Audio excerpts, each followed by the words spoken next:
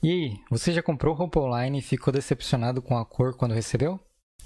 Isso pode ter alguns motivos, mas um bem recorrente é a edição de imagens. Meu nome é Flávio Cordeiro e hoje eu vou te mostrar como editar as cores no Photoshop de forma simples e realista. Vamos lá ver?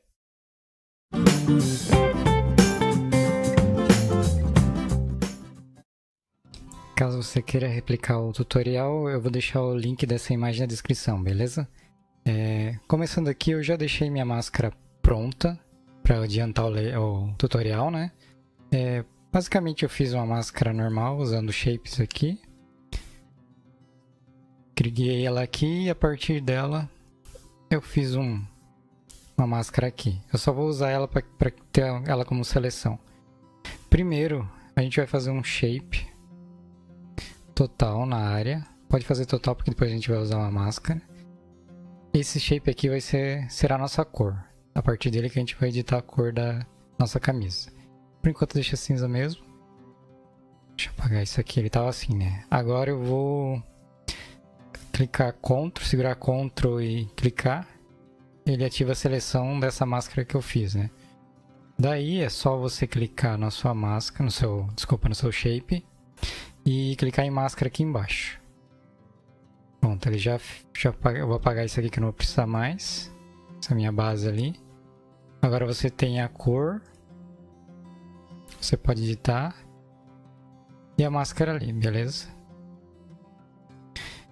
O que geralmente as pessoas fazem ao editar essa imagem? Colocam a cor que elas querem aqui. Digamos que seja um azul. E vou em multiply. Beleza, dá um resultado legal. Mas dá para ficar bem melhor que isso. É... O que a gente vai fazer aqui? Primeiro, quando você só aplica o multiply, a... ele fica um aspecto meio lavado, a sombra, assim, fica um pouco faltando contraste. Isso gera uma estranheza, assim. Então, o que a gente vai fazer é aplicar um pouquinho de... Vamos aplicar uma curva aqui, né? Você vai no Adjustment se você não tiver aqui como eu ativado, é só vir em Window Adjustment aqui, só clicar aqui ele vai aparecer. E a gente vai ativar o Curves. Beleza, nós temos o Curves. Se eu, se eu mexer nele aqui agora, ele vai mexer na imagem inteira. Porque eu não estou dizendo que ele está aplicando em todos os layers que estão embaixo, né? Tem várias maneiras de isolar isso. É, tem uma que se tu segurar Alt e clicar aqui no meio das duas layers ele agora ele só aplicaria só na, na layer de baixo, como vocês podem ver. Mas pensando que esse é um tipo de trabalho que, uh, recorrente que geralmente te pedem para alterar várias camisetas, eu vou fazer de um jeito aqui que fica mais prático para depois você replicar eles em outras cores, beleza? Então o que, que eu vou fazer? Eu vou criar uma pasta que vai ser o nosso grupo. Eu vou chamar ela de azul. E vou jogar essas duas layers lá dentro. A edição da curva e a cor.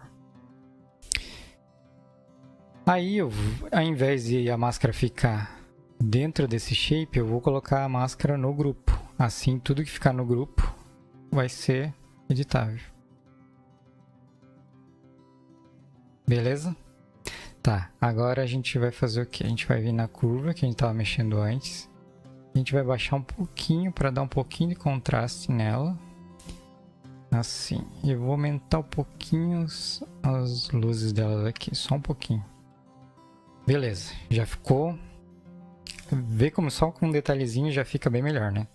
Mas uma coisa que é o comum erro que eu vejo nesse tipo de edição é isso aqui, ó. Vou exagerar aqui, né? Geralmente quando as pessoas editam esse tipo de imagens, eles deixam muito saturadas as cores. Aqui eu exagerei um pouco, mas eu já vi assim. Mas quando fica muito vivo, assim, fica difícil de acreditar. Difícil tu ver uma roupa, principalmente social, assim, com essa cor viva, assim, vibrante, né? Eu não sei porquê, eu acho que com as câmeras, com edições hoje, tudo automático, ficou tudo muito vibrante, assim, e isso foge um pouco da realidade. Então a gente tem que cuidar com isso, não deixar muito vibrante assim. O que a gente vai fazer é desaturar um pouco. Então, para vocês terem uma ideia, aqui nesse essa gama de cores, quanto vem mais para a esquerda, ele desatura, e quanto mais para a direita, ele satura mais. E quanto vem mais para baixo, ele tira o brilho, e quanto vem mais para cima, ele aumenta o brilho. Sabendo desse conceito básico, fica melhor para você editar suas imagens, né? Então, a gente quer desaturar, não quer uma camiseta vibrante assim, né? Geralmente esse tipo de camiseta é mais para academia, esportes, geralmente usa as coisas vibrantes, mas essa aqui, camiseta social, provavelmente algodão ou algum tipo de tecido que geralmente é mais fosco. E geralmente ele tem uma cara mais lavada assim, né? Não é tão brilhosa. Então a gente pode editar mais ou menos aqui. Olha só, o resultado já ficou muito melhor. Agora já é a camiseta um que tu consegue acreditar que é real a cor ficou bem, bem próxima do real. Vou fazer outro exemplo aqui. Se você está trabalhando num fluxo de trabalho que tem que fazer várias. Ctrl J. Você duplica. Vou apagar de baixo. Vou fazer uma verde agora. Verde. O mesmo esquema. Só que agora, como a gente já editou, agora é só, só mexer na cor. Então se tu quiser, tu nem precisa mexer ali, só mexe no espectro aqui, ó. Dependendo qual camiseta tu quer fazer. Vou fazer uma verde assim. Só que eu acho que ela tá muito saturada ainda, eu vou fazer ela mais próximo disso aqui, assim. Olha só, fica perfeito. Fica bem realista. No caso de cores escuras, o preto principalmente, é... só essa solução aqui não resolve. Então eu vou mostrar para vocês como fazer algumas alterações para deixar a camiseta preta bem realista. Então vamos lá duplicar esse verde aqui, Ctrl J, apaga essa outra aqui, vou nomear ele como preto. Então nós vamos primeiro ter a cor dele. É, você nunca vai alterar 100% a cor de preto. No mundo de edição, é dificilmente algo é 100% preto e 100% branco. Na verdade, não no mundo de, da edição, no mundo real, né? A gente acha que as coisas são branca e preta, mas elas não são 100%. Elas refletem luzes, então dificilmente, pelo menos onde a gente mora, no planeta, vai refletir totalmente preto, só se estiver no escuro. É... Um bom exemplo disso é essa foto. Isso aqui é uma foto, né? E ela tem um fundo branco. Se eu pegar a cor lá e vier aqui, você vê que ela não é 100% branca. Ela tem uma porcentagem de cian, magenta e yellow. Então, dificilmente tu vai usar 100% branco, 100% preto. Exceto quando é brilho, que é totalmente branco, né? Ou quando é totalmente escuro, que daí seria totalmente preto. Sabendo disso, a gente vai então deixar o nosso preto mais ou menos aqui. Ele fica legal, mas tu vê que ele tá faltando algo assim, ele não, não parece real. Então é, é nessa hora que tu a gente precisa fazer mais um passo aqui para deixar isso aqui legal. O que, que a gente vai fazer? A gente vai adicionar outra curva aqui, uma nova. E agora a gente vai ativar os highlights dela, assim, né? deixar ela bem brilhante. Vou exagerar aqui. E tem mais um passo que a gente precisa fazer. A gente vai clicar duas vezes com o direito. Desculpa. A gente vai clicar duas vezes ali, ou clicar com o direito e, e abrir. Meu, eu nunca sei onde é que é que eu já vou direto ali. Editar.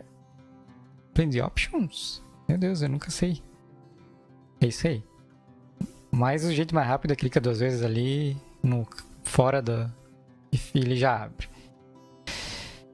A gente vai aqui no underline layer e a gente vai puxar ele um pouquinho para a direita. Você vê que ele tem uma reação aqui, ele, ele começa a tirar um pouco do preto aqui. A gente vai clicar Ctrl, quer dizer, Alt e clicar aqui no meio dela. Tu viu que ela agora a gente está habilitado para é, mexer nela. O que, que a gente vai fazer aqui? Agora a gente mexe na. Mexe olhando aqui, vendo se ela está próxima do que a gente precisa. Como ela é uma camiseta posca, acho que é um algodão, alguma coisa assim, ela não pode ter um contraste muito grande. Ó, seria mais ou menos isso. A gente pode mexer mais um pouquinho no brilho. Talvez baixar um pouco. Olha só. Agora sim parece uma camiseta preta real. Olha como é que era só com multiply. Só quer dizer, só com curva ou multiply aqui. A gente precisa de um, mais uma curva, só com as luzes agora. E agora sim ficou uma camiseta bem realista. Pronto, agora você consegue editar cores de forma simples e profissional. Gostou das dicas? Se gostou, faz aquele esquema aí com os botões aí para ajudar o canal. E esse tipo de fluxo de trabalho é muito bom para grandes volumes de imagens.